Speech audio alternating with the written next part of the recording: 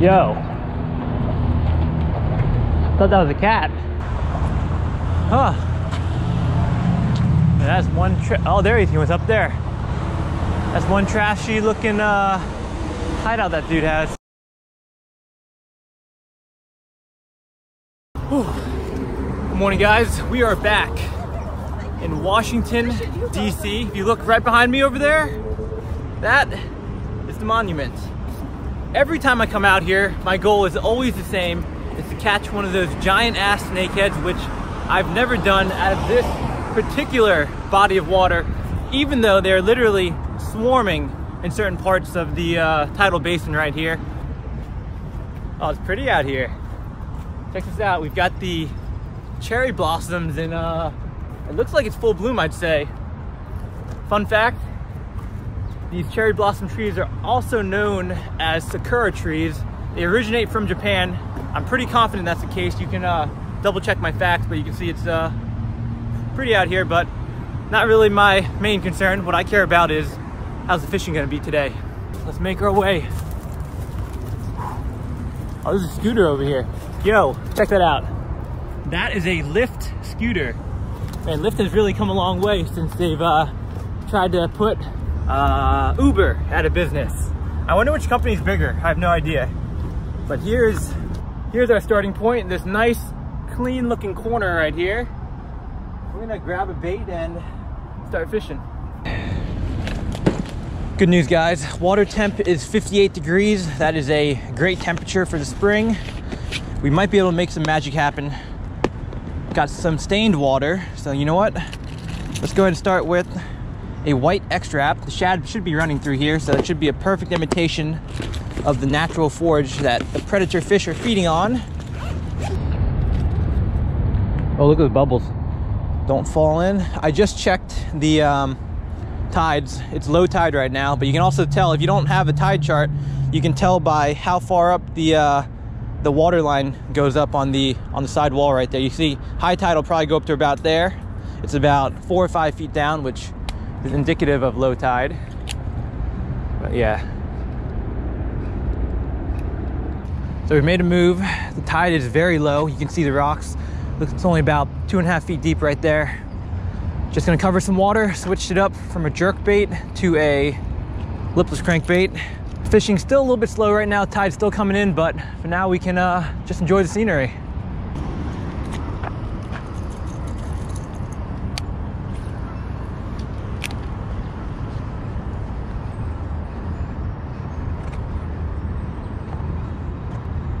Oh, there's one. Oh, it's good fish. Gosh, finally. What the hell do we have? It's a big largie, I think. Good sized largie. The fish in here are fighters. This, this might not even be a huge fish, but it's fighting like a freight train. God, he smacked it, short lined it. Uh, we gotta play him, gotta play him carefully. Okay, come on. Finally, dude, I covered all about a mile of water all the way from the Paston Memorial all the way to the spillway over here. First bite.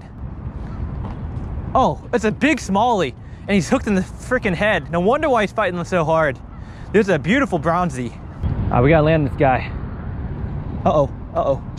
I feel something pulling. Oh no, he's getting snagged. Okay, we gotta land him. No more playing around. Oh my gosh. I was gonna have to go for it. We got 15 pound line, we should be safe. That's a beauty. Okay, ready? Here we go, guys. One, two, two and a half, two and three quarters, two and nine. Do I have one hook or two hooks? Two and nine tenths. Man, he smacked it. Oh, I have one hook in him. Oh, shoot. One, two, three, go! Let's go! Woo! That's how you freaking land a smallie right there. Check that out, guys. Beautiful smallie right here. Oh, man. Snack. He swiped at it. Hooked him right in the top of the head. Right there, as you can see. Get him unhooked. Beautiful first fish of the day. Let's get a release on him. There's the monument. Gorgeous day out here. Here we go, buddy. I'll let you go. Off he goes.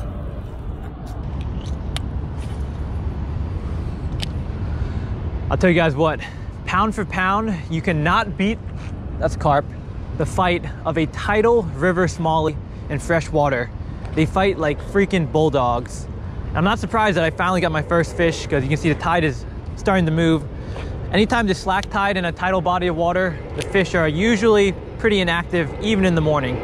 So, oh, I think I saw a fish over there. This, this should be prime time. The thing that worries me is that I hooked that fish on top of the head, so I don't know if this is the right bait. He didn't really seem that interested in eating it. I might switch to a jerk bait, then after that, a swim bait. Try to explore all my options.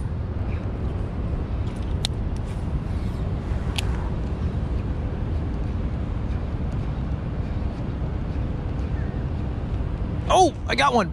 I got one. There's another one. Smacked the jerk bait. Oh, it's a largie this time. All right. Maybe we'll get the uh, trifecta, get a striper. Dude, this guy swiped at it too. You ain't going nowhere, buddy.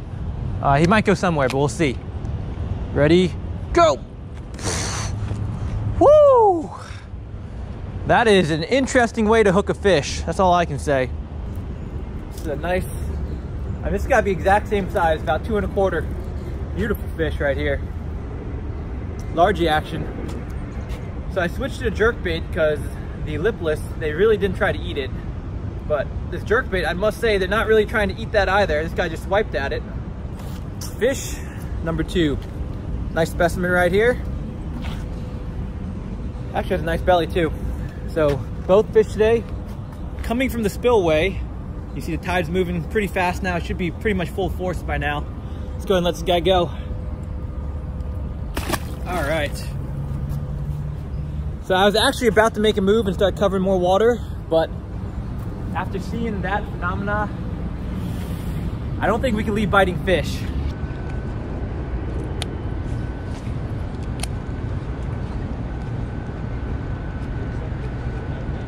There's, oh, sh shoot. Another fish right there.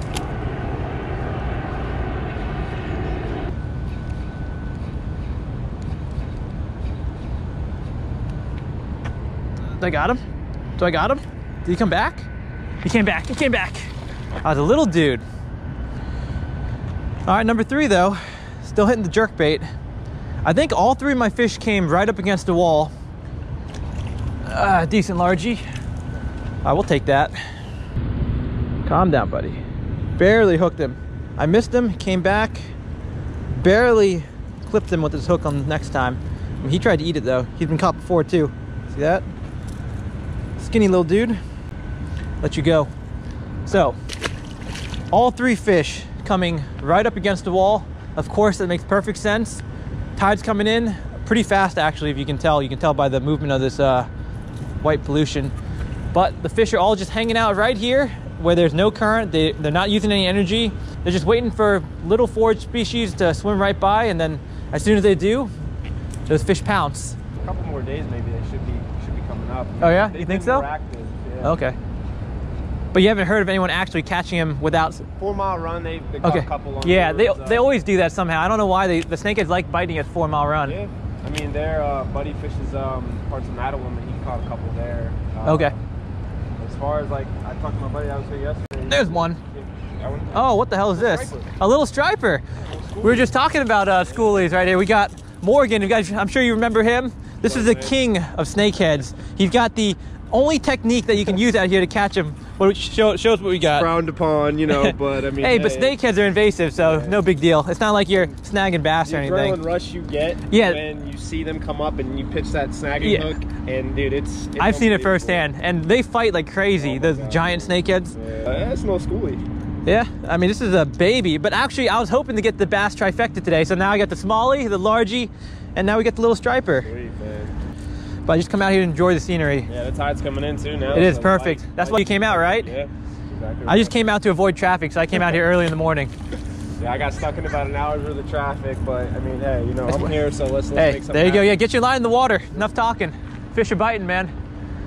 Climb, it's- Fish just go crazy for them. oh my God, dude, it's- I'm gonna keep walking around and I actually wanted to explore the entire basin, so I'm gonna keep. I'm gonna hit that side and then walk around. But hey, it's good to see you, man. Hit me up another time. Always, man. Yeah, you gotta do the fist bump. Come Fist on, bump, dude. man. You know that. you know, I'm old- Uh, I'm- I'm good luck. uh, fair enough. Good luck. I'll catch you next time. I'll see you around.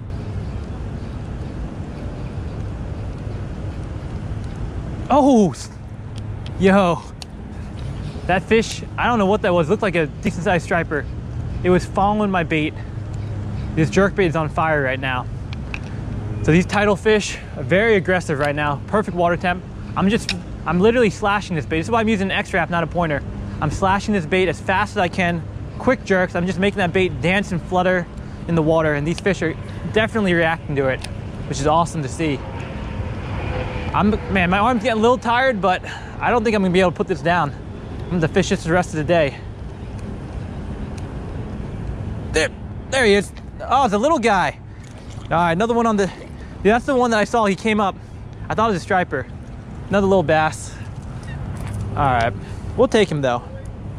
I mean, I'm hooking all these guys. I don't think, I think every fish but one was hooked outside the mouth. These guys are just, oh, okay, he's ready to go. Get out of here. If you guys look here, we have an interesting development. The water clarity has been quite excellent. You can probably see down three to four feet easily. But tide's coming in from the main river. Look at that. Muddy water coming in from the main river, probably from, I don't know. Oh, I think there's a fish right there. Probably from the range yesterday, but that's definitely gonna mess up the water clarity and probably gonna mess up the fishing in this area. So what we're probably gonna do is we're gonna run away from the tide and keep fishing along that a ways. So the bite slowed down, and as you can see, I'm in a very polluted section of the tidal basin. And there's no way this is gonna work, but I'm just doing it because what the heck. We are throwing a frog in early April on this trash.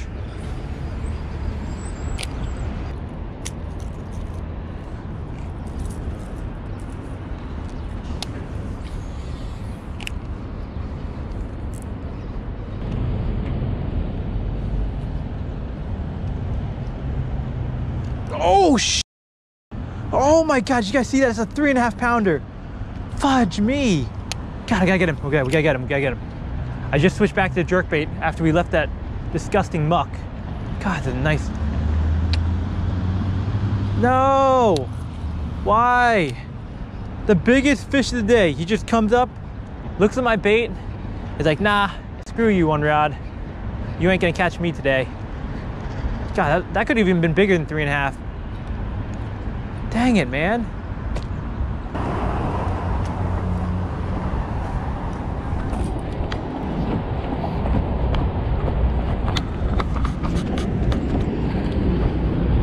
Oh, I know there's a fish here. Bingo. 100 bucks. Catch one right here. There it is. Show me the money, baby. That's a good fish. That's a good fish. That's a good largie.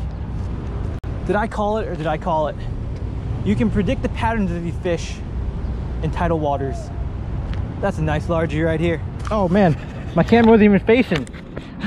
you guys are probably staring at my junk the whole time. all right, all right, we got him though. So basically what I did, I made a cast, precision cast, right against the wall in that corner. And this guy was just hanging out there, right up against it. Should I lift him? Ah, YOLO. Boom. Look at that. That's the biggest fish of the day, heaviest fish. We'll get a weight on him. On the old Keitech fish head spin combo. Perfect shad imitation. So, another nice fat pre-spawn largie. All right, let her go. Off she goes.